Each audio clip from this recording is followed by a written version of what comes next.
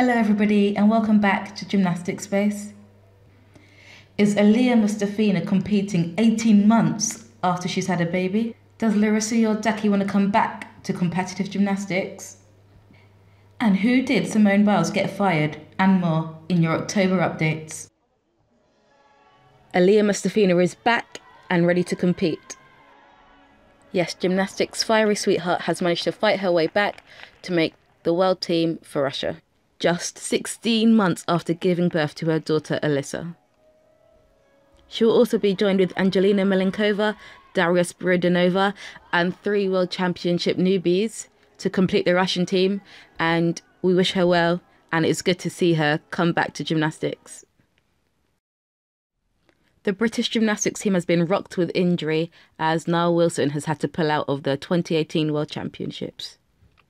Yes, last Friday in a controlled competition, Nile Wilson stated that he snapped ligaments in his finger competing a move on the parallel bars. This injury has now taken him out of competition for the rest of 2018 and he hopes to return in 2019. Nile Wilson is one of the best on the British gymnastics team and his presence will surely be missed, but no worries, Brinn Bevan will be replacing him.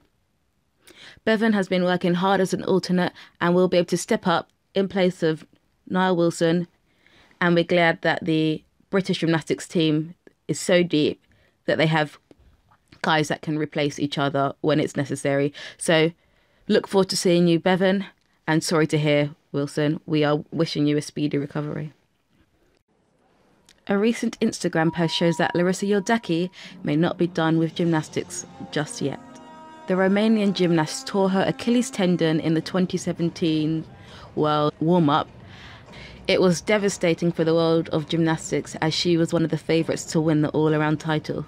Since she has had surgery but has stated that her chances of a comeback were at 50%. This was because her recovery was very slow and painful, and she even said she could barely walk. And if she couldn't walk, there was no chance of her doing gymnastics. However, in Iordache's recent Instagram post, she stated, Sometimes you need a place, a moment, a tip to find yourself, to know who you really are, and to live the best of your feelings. Heavy moments, but also unforgettable moments. This was and is gymnastics for me. This was and is gymnastics for me. She may be making a comeback. She hasn't stated anything on her pain, nothing's been published or released. Larisa, we are wishing you a good, healthy recovery and we hope to see you soon. Simone Biles has once again criticised USA Gymnastics. Mary Bono has been named as the interim president and chief executive officer of USA Gymnastics, effective immediately, and Simone Biles was not too happy. In her Twitter statement, Bono said that I am delighted to reconnect with the sport that was a hugely important part of my life growing up. I'm excited to work with the gymnastics community during these challenging times to create a safe, supportive, and healthy environment. The political climate of the United States of America is too difficult to get into right now, but Mary Bono had posted a video on Twitter of her rubbing out a Nike tick on her trainer to show that she was not in solidarity of kneeling for the anthem. Many thought that this was a sign of Mary Bono silencing an athlete's freedom of speech. On Twitter, Simone Biles was not afraid to voice her opinion. She stated, Mouse drop. Don't worry, it's not like we needed a smarter USA Gymnastics president or any sponsors or anything. And she's right. If Nike see that the chief of USA Gymnastics does not support them as vehemently against them, they might pull their funding out for some of the athletes. And that'll leave them in an awful position career wise. Funding and sponsors is very important for all sports.